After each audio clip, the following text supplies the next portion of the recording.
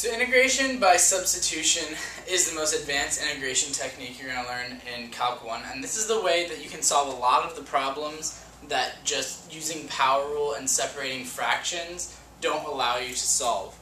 So in integration by substitution, it's kind of like the chain rule for antiderivatives. So the main uh, strategy here is if you're doing the uh, antiderivative of f of x, and f of x is a function that you can't use power rule on, you can't effectively separate it, uh, separating fractions and trying to do it term by term, or anything like that, what you can try is integration by substitution.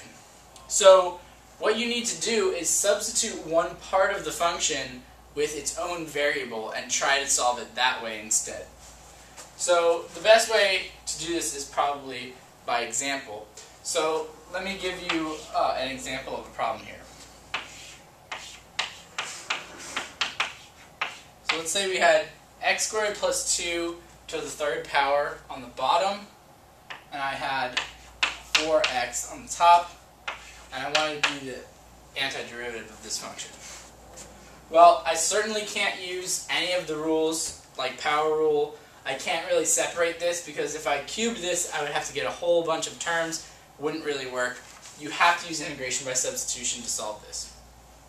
So, what you do by substitution is you need to call part of this function its own variable. Usually use u, but it really doesn't matter. But the strategy for choosing what you want to call u is if you see its derivative somewhere else in the function. There, there's a couple other things I'll get to too about where uh, what's effective for choosing the best uh, u to make the problem simplest. So in here, you can see if I called u everything in this parentheses, x squared plus 2,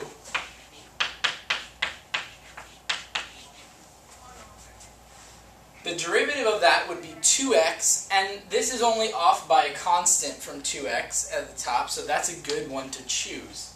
So what you need to do is, now we want to transform this integral to be in terms of u instead of in terms of x. So, we can already get rid of this x squared plus 2 and just call it u. But we'd still be stuck with this 4x and this dx. So remember that the dx in this case tells you which variable you're integrating. So we want to change that to u instead of x. The only way you can do that is take your equation that you determined u by and do the derivative of it. du, the derivative of x squared plus 2 would be 2x dx. Now you can see I do have a dx, and we want to get rid of the dx, so we want to solve for dx here. Now, a lot of people try to substitute straight in like that, and for a lot of them, that's fine. However, the more complex your functions get, it's usually better to just solve for dx itself. So now what this means is instead of dx, we can write this here. So now let's write our next step. We still have 4x in the numerator. Now on the bottom, we're just going to have u to the third power, because our x squared plus 2 became u. And instead of dx, we're going to write du over 2x. And you can see here that these x's are going to cancel out. The 2 is going to cancel out the 4 to make it 2. And finally, to write this most simply, we can bring the 2 outside the integral, and we're just integrating u to the negative 3 power because it's we have u to the third in the denominator. Now this is a very simple integral. That you can just use power rule on.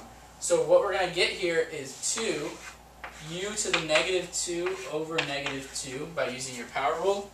This is going to cancel out, and we're going to get negative u to the negative 2. Lastly, we want to add in what we substituted for u in the first place. So we would have negative x squared plus 2 to the negative 2 plus c. Remember, you always have to add in the plus c at the end and this would be our antiderivative of this function.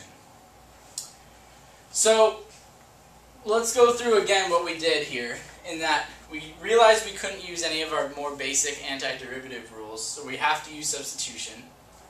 So let's talk a little bit more about how you choose uh, what you want to be u. So like I said, first thing you want to look at is can you find something where its derivative, barring you know off by a constant, is in here. We have an x squared, so we're looking for anything that just has an x. We see that, so that means using the x squared as u is a good idea because when you do the derivative, the, that part's going to go away.